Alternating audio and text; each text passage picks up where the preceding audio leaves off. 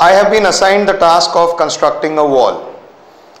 There is a certain amount of work that I can do every day and hence for the entire wall I am going to take a certain number of days. However, after working for one day I realize that I need to rest for the next day. So essentially what I am doing is I am only working on alternate days. So I work on the first day and I build some portion of the wall and the rate at which I do my work is a constant rate every day. So on the first day I construct some part of the wall, take a rest on the second day, again go back to construction on the third day, take rest on the fourth day and so on. So I'm only working alternate days. However, I realize that the day I am not working and the day hence on which I am resting, some people actually come and break up some portion of the wall that I have constructed.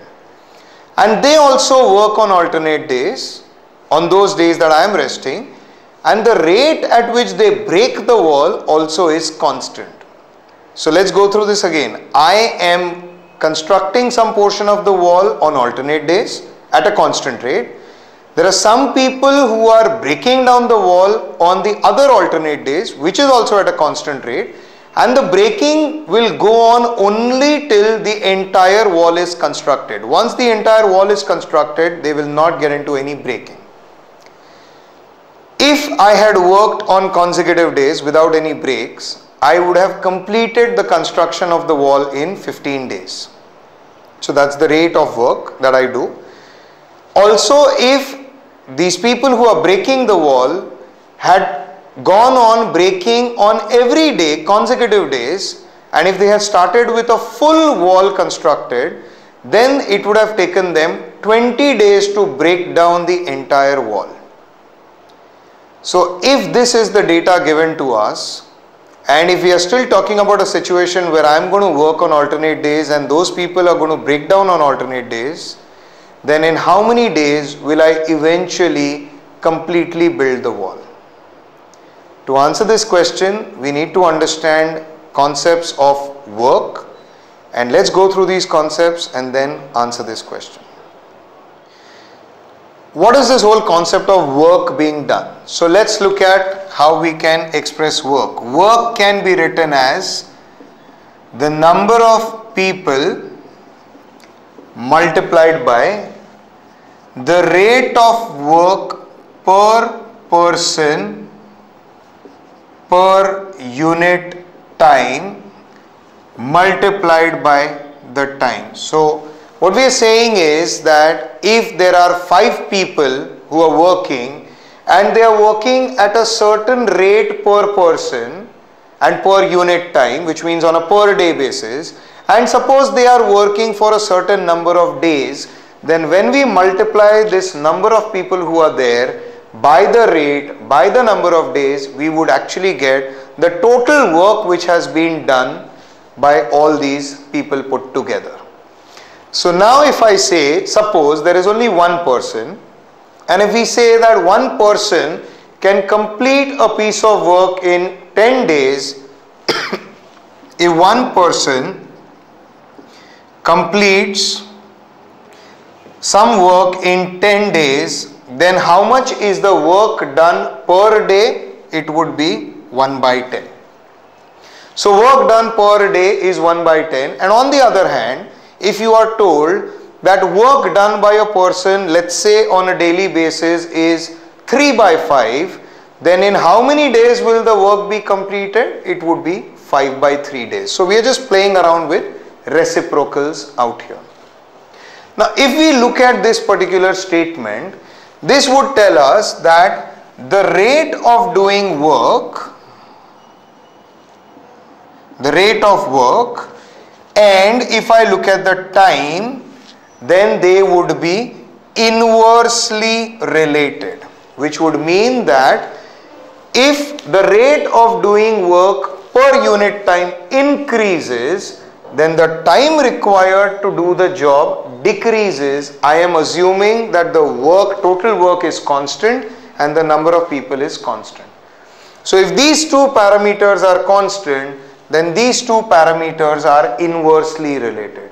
Similarly, if work to be done is constant and the time available is constant, number of people and the rate would be again inversely related which would mean that if the rate per person per unit time increases then the time is constant, work is constant, then the number of people required to do the job would decrease.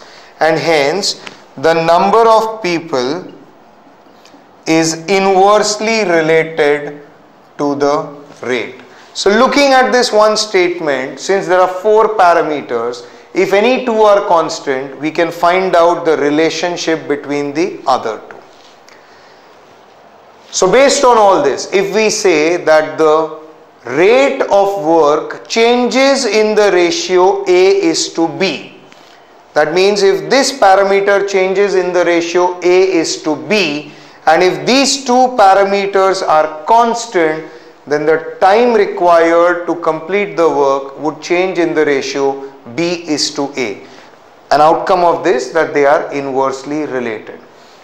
Now suppose we try and relate the work to be done and let's say the rate per person. So if the number of people is the same and the time remains the same and if the rate per person changes in the ratio A is to B then the work done will also change in the ratio A is to B because if these two parameters are constant then these two have a direct variation amongst them. So if this changes as A is to B, this would also change as A is to B. So bottom line is that if this one statement is clear to us, out of these four parameters, any two remaining constant, we can figure out what is the relationship between the other two and accordingly take the relationship which is whether something is going to increase or decrease depending on inverse or direct variation. There can be many different possibilities in terms of variations for questions asked on work done. So let's look at a few of these variations. Suppose we have three people working simultaneously on a job. You have a person X, a person Y and a person Z and you have been told their individual times that they will take to complete the piece of work. So suppose we have been told that X takes 10 days to complete a piece of work alone, Y takes 15 days to complete a piece of work alone and Z takes 25 days to complete a piece of work alone. Now the question is if they work together simultaneously on this job then in how many days will the work be completed. Now the way we would look at it is we would convert everything in terms of one day's work. So when I look at x, if x takes 10 days to complete the job, then x is 1 day's work is 1 by 10. For y, it would be 1 by 15 and for z, it would be 1 by 25. If these three people are going to work simultaneously, then total one day's work would be 1 by 10 plus 1 by 15 plus 1 by 25 if we find the LCM for this, it would be 150 and hence we would get 15 plus 10 plus 6 which would make it 31 by 150 and this would be the total work done on any one day by X, Y and Z together. Now if this is one day's work for all three people put together then reciprocal of this which would mean 150 by 31 would be the number of days required to complete this job when all three people work on it simultaneously. This method is what we call as the reciprocals method because we convert the time taken by considering the reciprocal into work done per day, finding the total work done per day and again finding the reciprocal of that to find the number of days required. There is another method that we can use which we call as the units of work method. Now what do we mean by units of work method? We start off by taking the LCM of 10, 15 and 25 which we know is 150 and we assume 150 units of work to be done. Now we know that X completes 150 units of work in 10 days which would mean that X does 15 units of work per day. If Y completes 150 units of work in 15 days then we know that Y does 10 units of work per day and similarly Z would complete 6 units of work per day. Since they are working together, we would know that total work done per day would be 15 plus 10 plus 6 which is 31 units per day and if 31 units can be completed in one day then 150 units can be completed in 150 divided by 31 days. Obviously the answer has to be the same but when you try and solve a question in this manner as compared to the reciprocals method, it just seems a little better because you can perform a lot of calculations orally whereas here you need to write down all this in terms of reciprocals and when you are dealing with reciprocals and the calculations following the reciprocals there is a possibility of an error creeping in and hence personally we recommend the units method is better as compared to the reciprocals method to solve any question involving work to be done. We've just looked at an example where multiple people were working and all of them were simultaneously working which means they were working together. Let's now look at a case where these people don't work together but they work alternately. So let's take an example. Suppose we say we have a person X who can complete a piece of work let's say in 15 days and there is another person Y who can complete a piece of work alone in 25 days. So if X works alone, X will complete the work in 15 days. If Y works alone, Y will complete the piece of work in 25 days. Now the problem says that they work on alternate days and on any one given day hence only one of these two people will work. And if the question is if they work on alternate days in how many days will the work be completed? Now the answer to this question depends on whether X starts work or Y starts work. So let's look at both the possibilities. If X starts on the first day, we will go back to our units method and we will say that 75 units is the total work to be done which means X will do 5 units per day and Y will do 3 units per day.